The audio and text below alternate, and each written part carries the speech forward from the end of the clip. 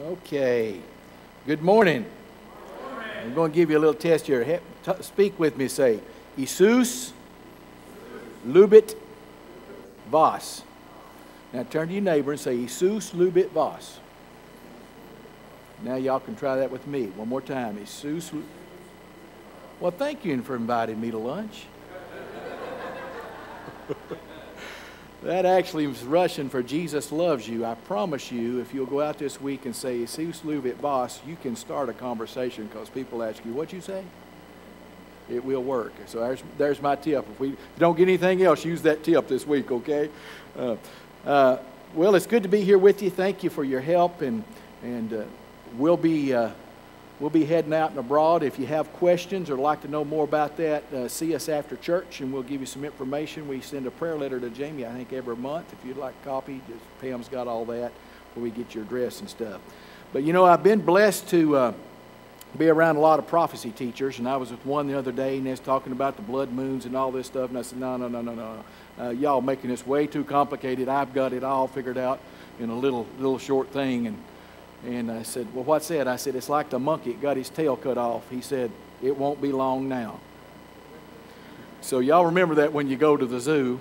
And uh, I really, when you're standing there and thinking about that. But I will tell you this we are in the greatest revival in the history of the world without a shadow of a doubt. It is happening right now in this generation.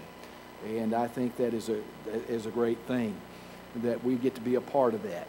And, uh, you know, there's more lost people in the world today than ever before. So there, there we go. Uh, this morning I want to speak to you out of Judges chapter 6 on the subject of doing something, uh, of God doing something only He can do. Of God doing something only He can do. So when you found Judges chapter 6, uh, I'll ask you to stand with me. I'll kind of let me know that you were there.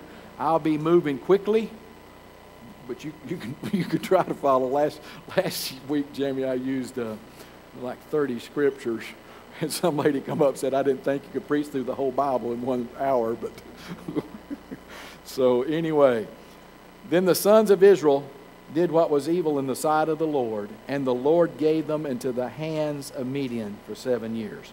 Father, we thank you for your goodness and grace, your love and your mercy. And Lord, we just pray right now that you speak uh, to our hearts. And Lord, we acknowledge again that only you can do everything. We can do nothing apart from you. So, Father, I pray you move in our lives today in Jesus' name. Amen. You may be seated. As we, as we look at this particular passage, and we find that Israel has always been on a roller coaster ride when they did what God told them, He blessed them. Then, that blessing, they decided they didn't need any God, and they ended up having to turn back to God. Uh, same as our country and same as the world today. Uh, unfortunately, when we have everything we want, there's a tendency to ignore God. And so this is what happened with Israel. And uh, God gave them over to their enemy. And for, for seven years, and they would come in, and the Bible says that they were innumerable, and they'd just take everything their food, their sheep, their goats, and all these. And I still think my analogy is the best one I can come up with it was like when they got through, they were like a pack of dogs that hadn't eaten in a week on a bowl of gravy. They wasn't nothing left. I mean, it cleaned them out. And so it was a bad situation. And so it, finally in verse 7 it says, So Israel was brought very low because of Midian, and some of Israel cried to the Lord. You know, many, many times we wait as a last resort when everything else has not worked I've actually had people, well, say that I could pray for you. Well, I've been to the doctor, I've done this and this. It wouldn't hurt for me to try that. I've heard that more than one time in my life. And, uh, but, you know, it, it's a last resort. I, I was sharing this morning that one of our fellows went to a foreign country and uh, a lady there got a job in the king's palace. And his mother in law, or excuse me, his, his stepmother, I guess it was one of the two anyway, she was sick and had all the money in the world and nobody could heal her. And as a last resort, she allowed one of the ladies to pray for her, and God immediately healed that woman on the spot. And as a result of this, this country that was very closed has now not only asked her to, that she can bring her Bible and she can pray, but if she has any friends, that they could all come and work in the palace as well, because one woman was obedient to pray. So don't think God can't use you.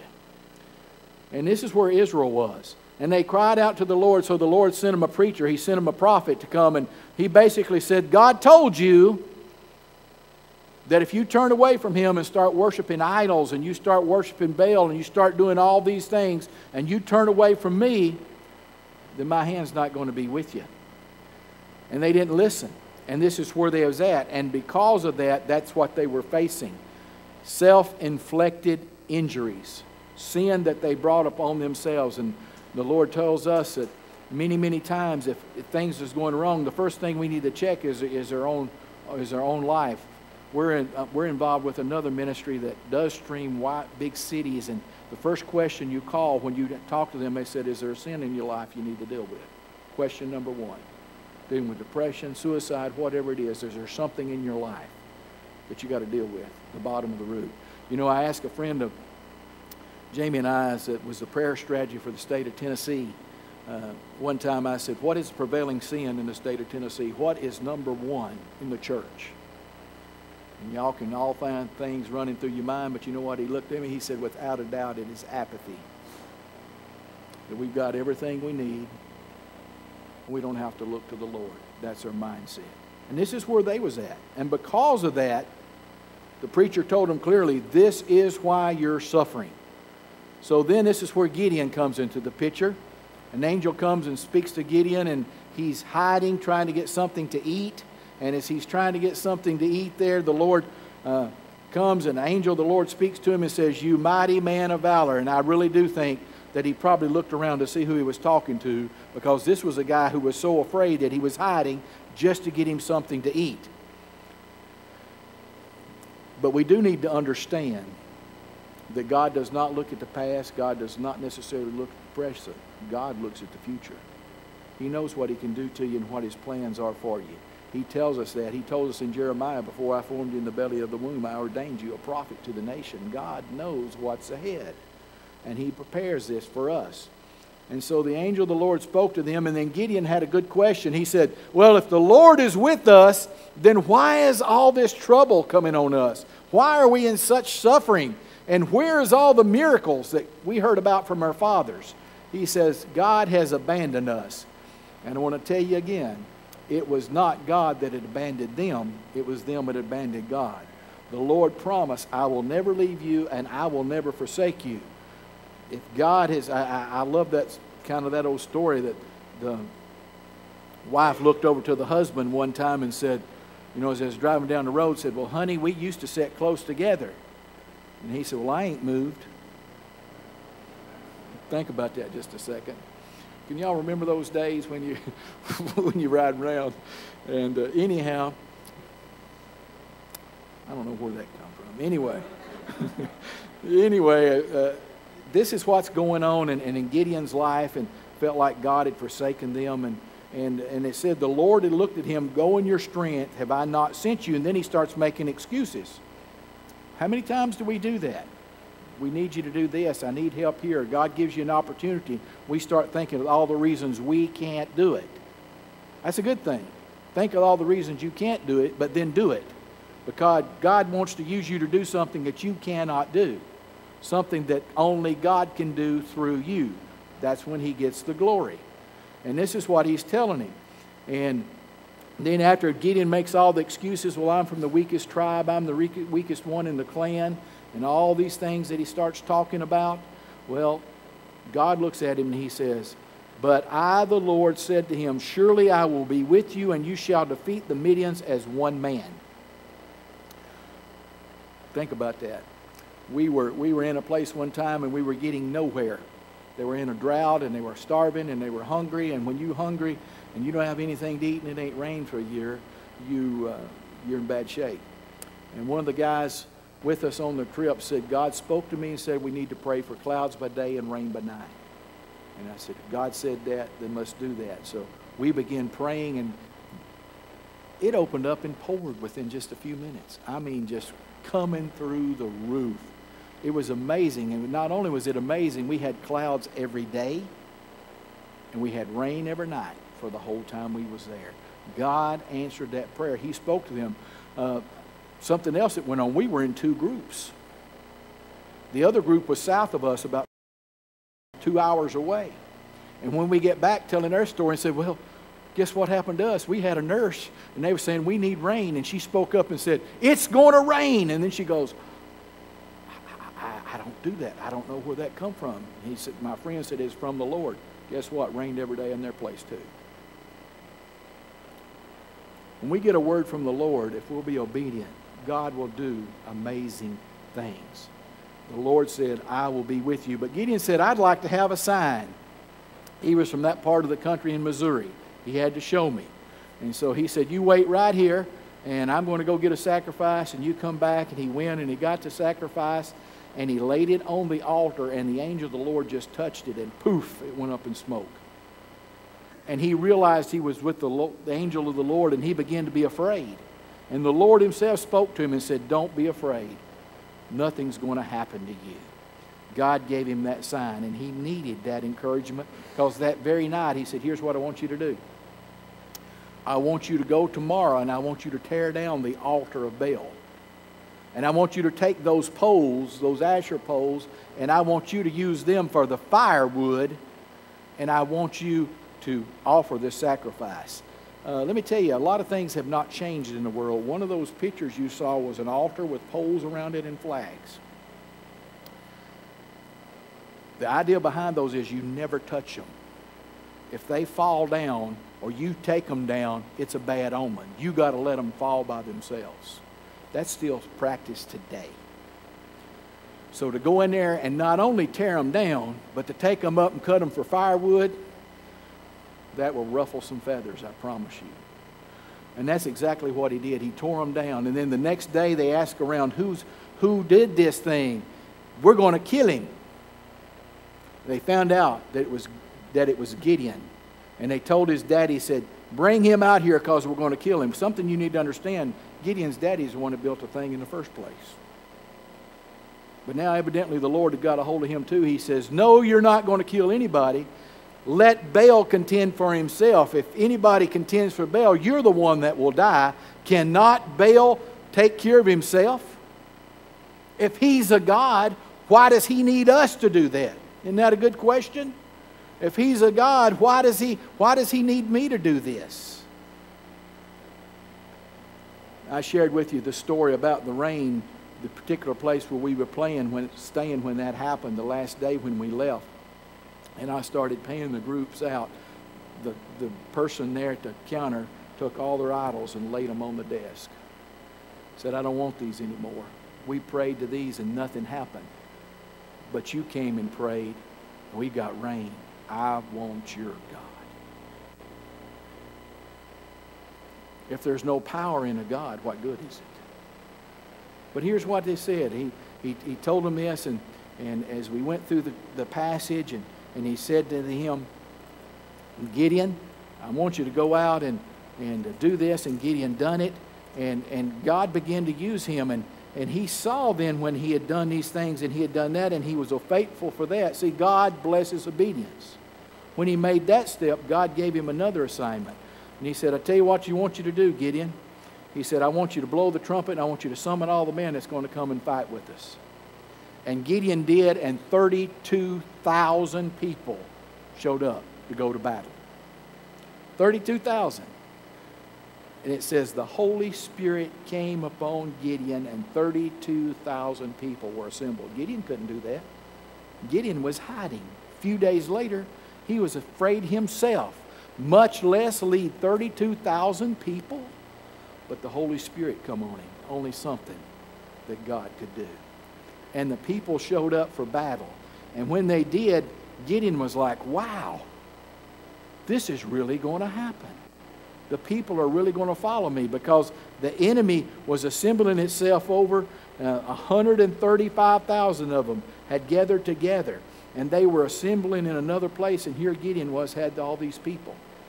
And he began to say, God, wow, you're really going to do this.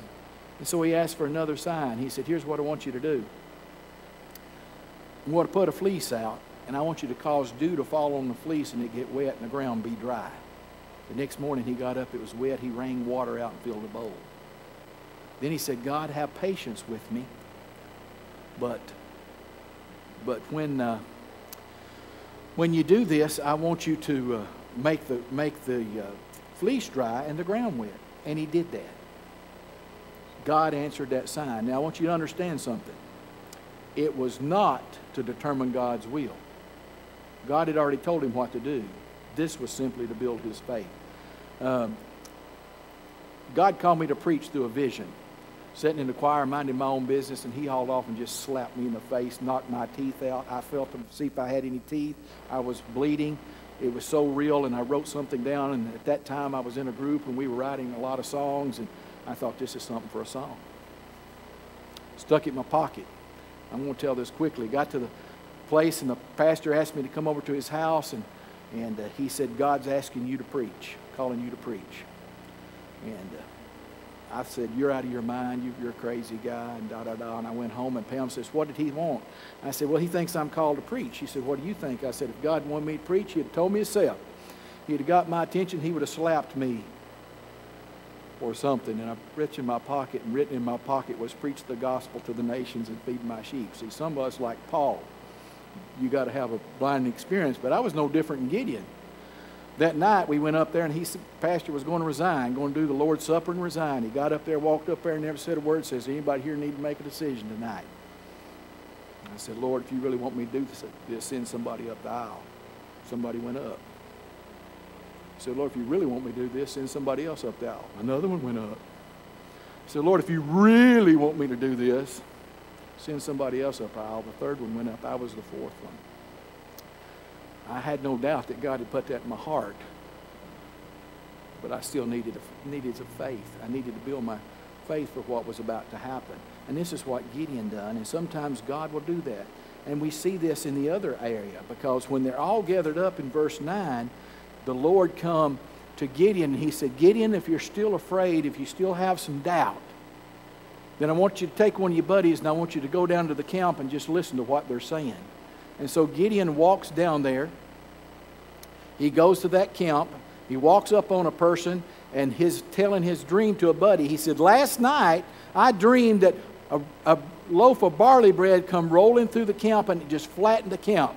And his buddy said, That is nothing but Gideon and the Lord. They are going to take us away. They're going to capture every one of us. Now, what are the odds? 135,000 people, and Gideon just walks up and there happens to be somebody telling the story to give him the confidence that he needed. See, God gives us those signs. I shared earlier this morning we were needing something in an area where we were working where they were illiterate and children, and we needed something for the, the programs that we do with the kids. And I said, we need a flip chart that goes from creation all the way through. And we prayed that night on the train, woke up the next morning with the directors of child evangelism sleeping under my bunk in a country of 1.6 million people, God put them right there and gave us our car.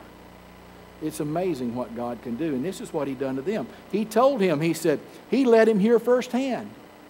Them prophesying the enemy what was going to happen. And so here he goes. After that, he comes back. He had that dream. He had that vision. And the first thing he did was stop and he prayed. He bowed down and he worshiped the Lord. He realized that God was going to do this.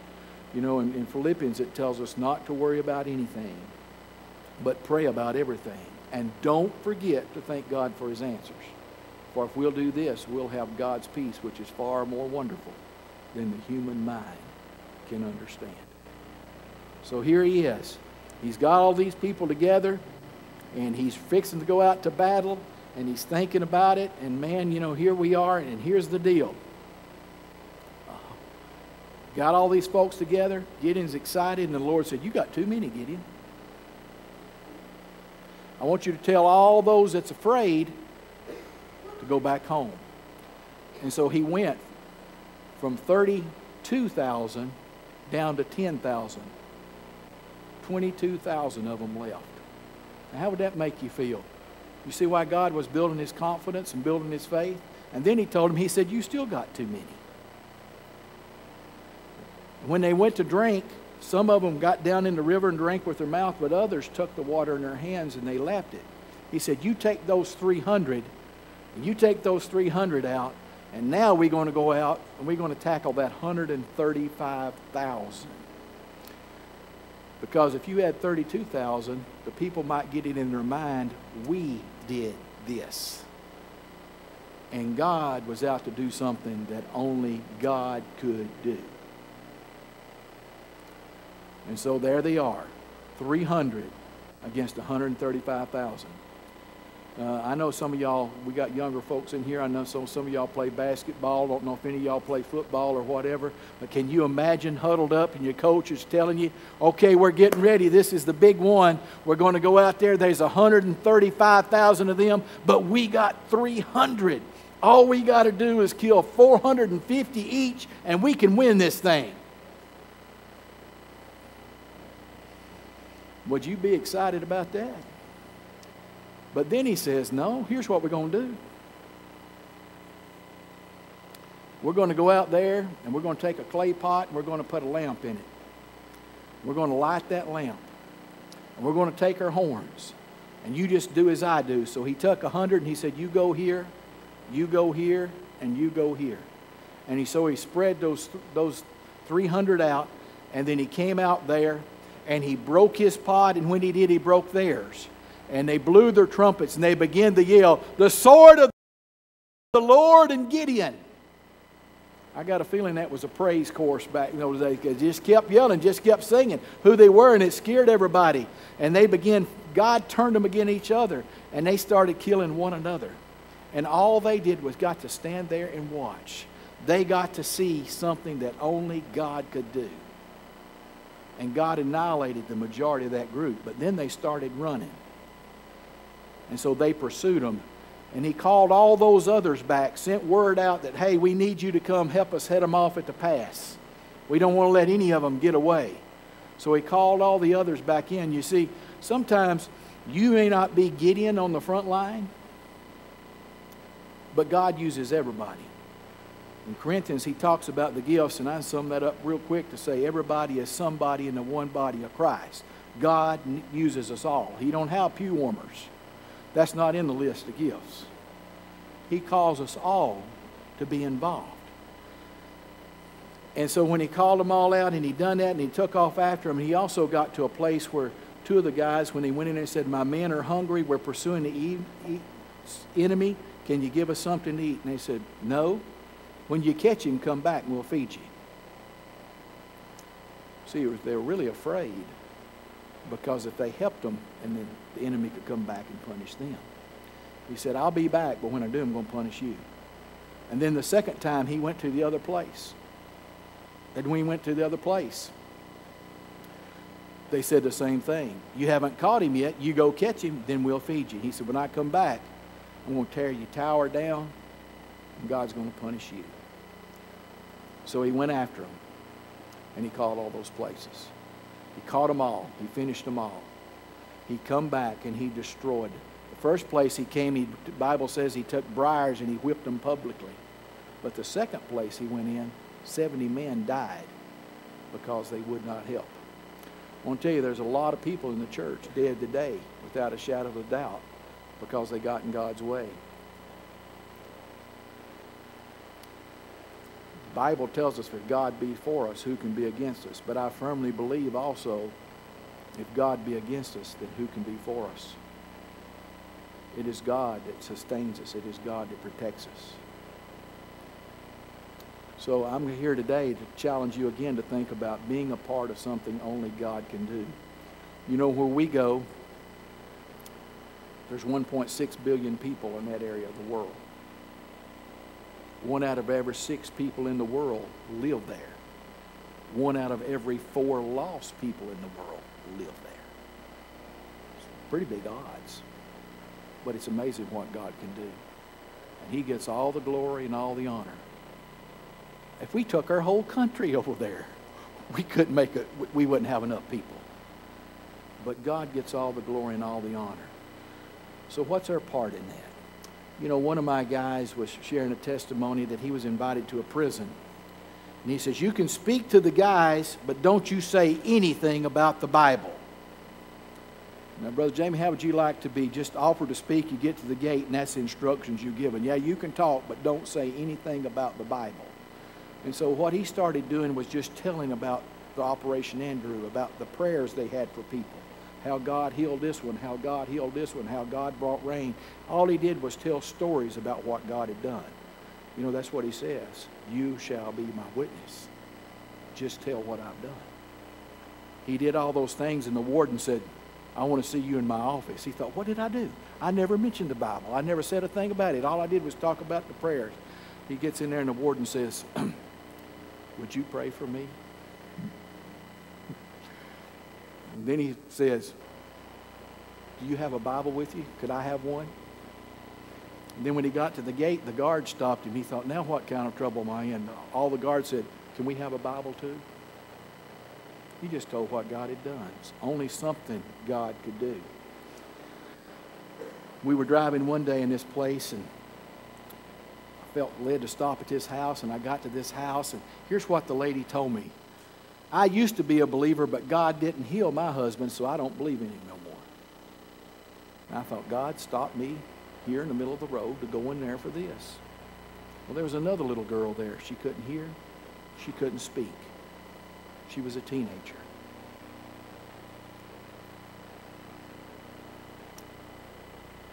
We, we began just to take the Cube with the translator and share the best we could with those pictures. She couldn't pray a sinner's prayer. When it was all done, she said,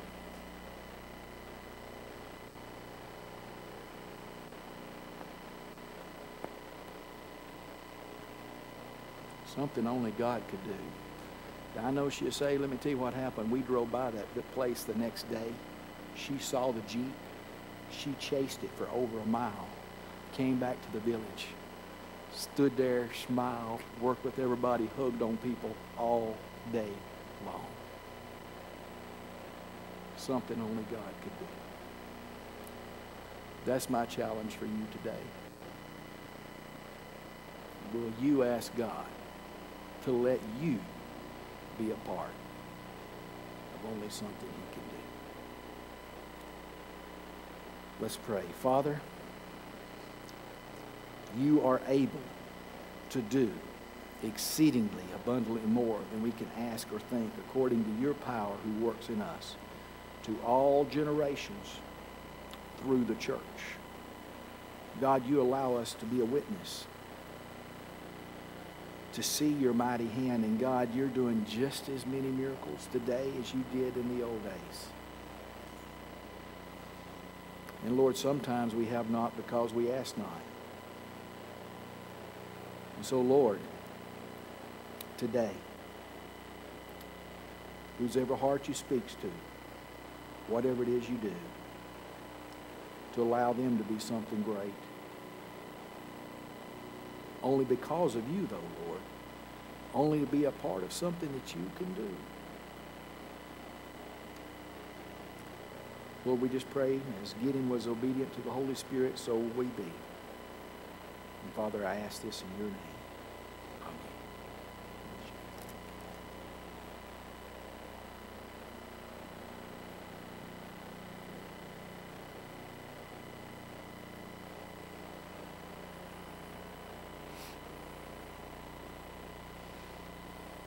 Give you an opportunity this morning. How long has it been since you've seen God do something that only He can do? You remember?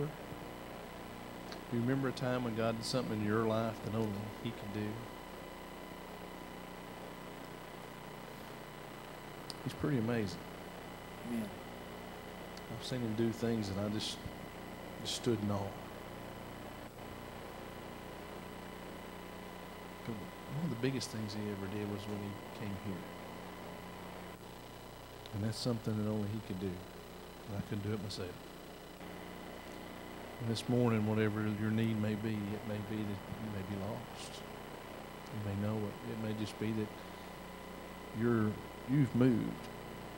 God's still sitting there, but you have moved. Maybe it's time to work your way back.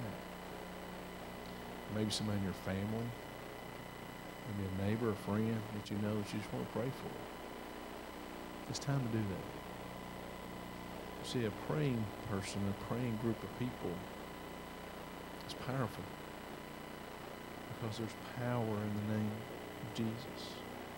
There's power in prayer.